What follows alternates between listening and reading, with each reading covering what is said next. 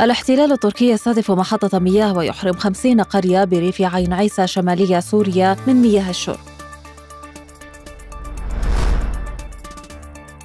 خروج مظاهرة في ريف إدلب شمال غربية سوريا للتنديد بالانتهاكات التي تمارسها هيئة تحرير الشام الإرهابية.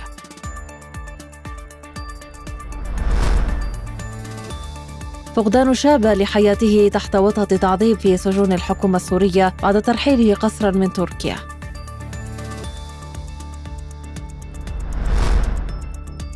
مقتل وإصابة عشرات الفلسطينيين غالبيتهم من الأطفال والنساء بقصف إسرائيلي على قطاع غزة.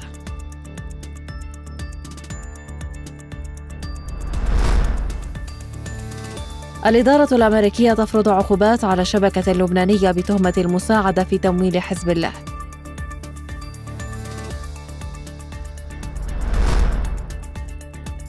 منظمة العفو الدولية تقول إن الإيرانيين لا يزالون يتحملون العواقب المدمرة لقمع انتفاضة أميني